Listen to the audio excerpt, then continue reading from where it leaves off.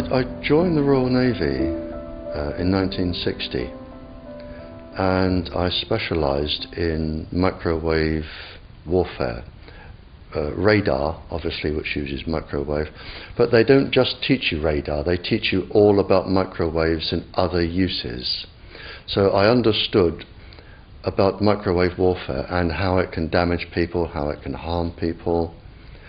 Uh, and when I finished with the Royal Navy, uh, I was also a diver in the Royal Navy, um, and microwaves I used in underwater mines as uh, booby traps.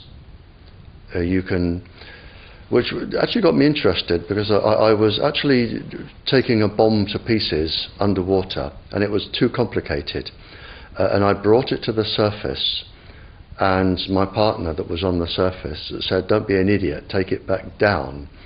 He said, If somebody's beaming you with microwaves, they'll go right through you, and as you open the casing, trigger a photoelectric cell and it'll blow every, all of us up. And, they, and he said, if it doesn't go through to the bomb, it'll aim it at your head and make you make a mistake. And that's really got me interested from that point, because I thought, well, how can microwaves going into your brain make you make a mistake? Um, and I, I asked a lot of questions. I have a very curious brain. And the forces, they're very good at explaining things and telling you things. Uh, so I did that, and, and I, I also did a medical course while I was in to help me understand everything.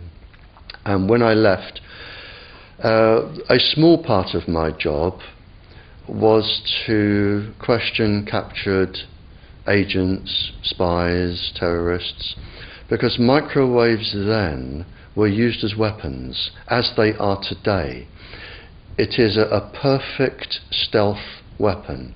And when governments don't like a group of people, for instance, the, the ladies who protest at Greenham Common in England about the American missile base they camped, they were microwaved. We microwaved Catholics in Northern Ireland to make them sick. Uh, it, it, goes on all over the world. And it, it's a weapon that you don't know you're being targeted because the dose is very, very low, which is actually more dangerous than a high dose. It's very, very low and it may take a year or two, but you can, you can cause neurological damage and cancers with low level microwaves. And you can make all your opponents sick. It, it's a perfect weapon for a government uh, to use. So that was going on, and, and I gathered all the information about that from people who were captured from other countries. Uh, to find out what technologies they had, what pulse frequencies they used. But as I said, it was only a small part of my work. But because I was highly trained in it and I was useful, uh, it, it just became a part of my working structure, along with master criminals and terrorists and all sorts of people that I found incredibly interesting actually to talk to. Very, very interesting. And when I left there, uh, I, I, I, took a job teaching and I taught advanced level physics, and I specialized in nuclear and atomic radiation, and again microwaves. and it, I've just always been in microwaves. And then it was a doctor. Uh, I, I, went to see a doctor once, as most teachers do, uh, with a, a, sore throat. And he, he said, as most doctors do, it's viral, there's nothing I can do for you. And, and I was leaving, and he said, Hang on, Barrie, he said, uh, he said, You're a physicist. And I said, Yeah. And he said, Can you explain something? He said, I went to a house that had a cot death five years ago. And the family moved, and a new family moved in. They had a new baby. The cot was in exactly the same place, and there was another cot death. And he said, five years apart. And he said, There's a transmitter the other side of the child's bedroom wall. Could the transmitter cause the cot death? And I said, I don't know. I said, but I'll look into it. And then I found that microwaves were involved, and I knew what microwaves did. And a while later, I went back to the doctor, I wrote a paper on it, and I said, There's your answer. Microwaves can cause cot death by two or three different mechanisms. Um, there's your answer. Um, and then, uh, for some reason, he told somebody who told somebody, and people started phoning me up and writing to me saying, Can you explain this or can you help with that? Uh, I've never actually asked anyone if I can do anything.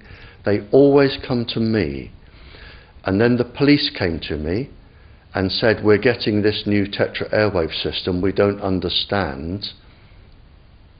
Uh, what's happening? Can you read all this scientific rubbish and just put it into Janet and John and tell us? And I said, Of course I can. Uh, so that was published, and, and since then it, it, it's it, it snowballed and snowballed and snowballed, and now I receive up to a thousand communiques a week from various countries, various people, and uh, I, I, can't handle it. So, uh, and I'm I'm here now because somebody asked me to come here. Wi-Fi, I think anyone who puts Wi-Fi into a school should be locked up for the rest of their life. I really do. I think they're not fit to walk on the surface of this planet because they haven't looked at the research and whatever incentive they have, it is not worth the genetic problems that parents are going to face with their children when they're born. And if you think of a single parent, a mother, who has a genetically deformed child, that that particular mother, mother will feel guilty because she gave birth. She will feel guilty and she will be worried every single second of every single day for her life. She will worry that the child won't marry. If the child can marry, she'll worry that the children will carry the disease, which they will. She will worry when she dies who will take care of them. So you are condemning both the family and the children uh, to a lifetime of absolute hell. and this is already published, it is available to look up. It's what I call intentional ignorance. They are offered some sort of incentive and they think, oh, this is going to be good, we'll have it. Now, the problem is imagine you are a 15 year old schoolgirl. All of the 400,000 eggs in your ovaries were with you at birth. They're not fully developed, but they're with you. They are 10 times more susceptible to radiation than all of the other DNA in the body. And scientists don't realize that. They don't read all of the papers as I do. So you have this highly susceptible genetic material which is going to make your children. And you are irradiating it because Wi Fi's, they are transmitters as well as the routers, as well as the ones either side of you. They are all transmitting at this height through your ovaries. So you are risking the damage, the DNA damage, of your child every time you sit down and you use Wi Fi. And it's like saying if I smoke a cigarette, which one will cause the damage? The answer is I don't know. It could be the one today. so you now have a child that has a probability of being genetically damaged. But the real damage is when that child grows up. You have genetic material in your ovaries which could be damaged. Now, the real problem comes so you, you have a child that could be born genetically damaged. But the real problem comes when you become pregnant. If you are a teacher or a mature student and you become pregnant. because the embryo inside your womb, in the first 100 days, all of those 400,000 eggs are forming in your embryo, your child's ovaries. so your child could be born with genetically damaged eggs. And the main thing about the eggs in the ovaries of your child is that they have absolutely no protection. It, it hasn't been developed yet. We have a natural protection against microwaves. It was developed since the Stone Age against thunderstorms and massive amounts of radiation coming into our body.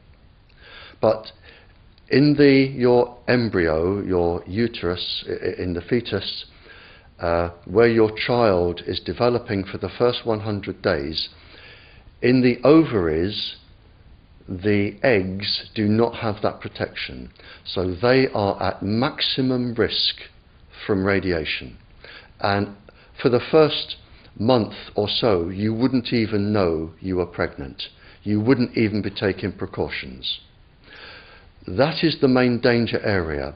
So you give birth to a daughter,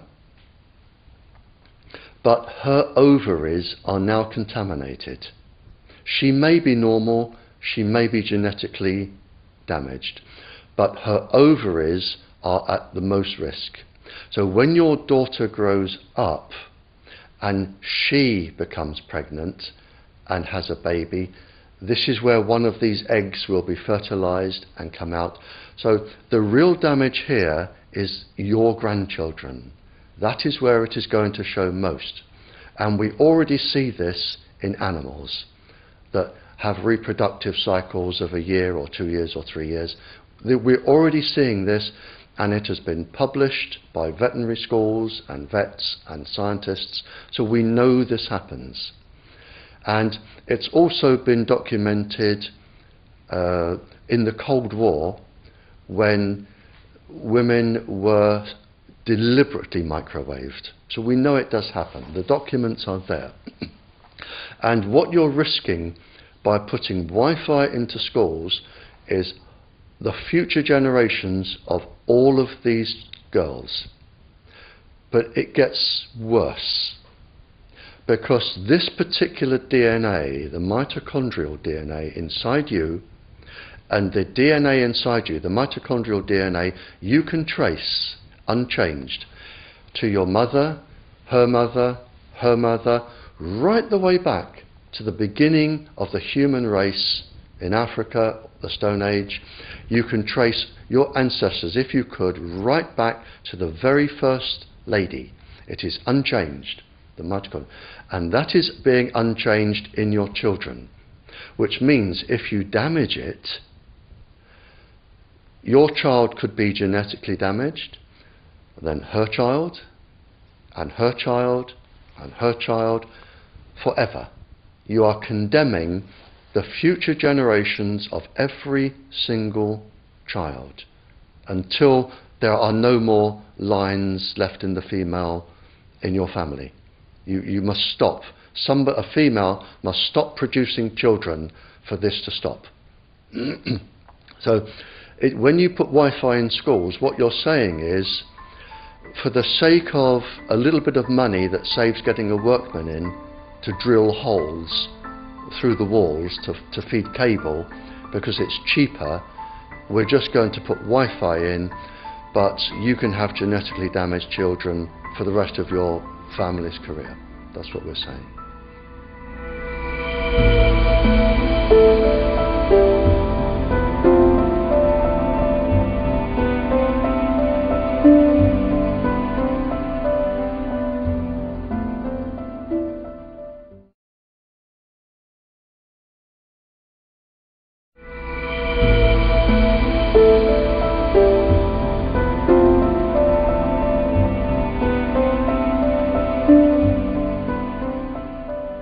The, the, the animal and plant kingdom and the environment? How has that been affected? This is a major problem because when you look at the DNA inside our genes, the, the four bases of the DNA are exactly the same in every single living species. Everyone. Any tree can read your DNA sequence. It won't use 99.9% of it because it doesn't need to, but it can read it. We can all read each other's DNA sequence. so if you're doing something which damages humans, it's going to damage every single living plant, every single living animal. And we are now finding that the animals that are most susceptible to this, namely the pollinating insects because of their size uh, and their vibrational frequency, we are now finding that countries uh, that rely on pollinating insects are running short of food. We are finding that animals are becoming sick, and this is researched by very reputable veterinary universities.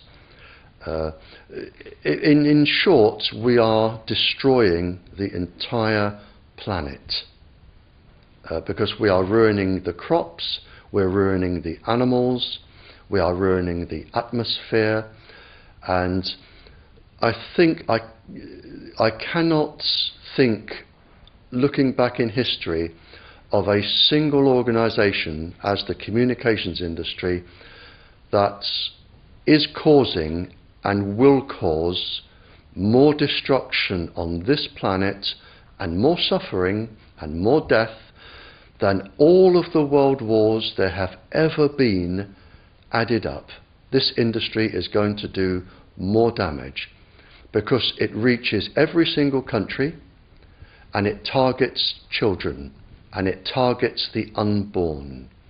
And I watched on the news just before I left, the day before I left to come here, where we had Prince William and Kate, and they were on a tiny little Polynesian island. And when you watch them, if you see them on the news, this tiny little island, everybody pu- was pulling out the latest iPhone things with colour and cameras and using it. And I think, well, this is a little tiny South Pacific tropical island, very, very rare for the planet, with ecosystems, and they must have microwave transmitters already for all these people to be using these. So, this industry is reaching everywhere on the planet, and it is, if nobody stops it, it is going to destroy the planet.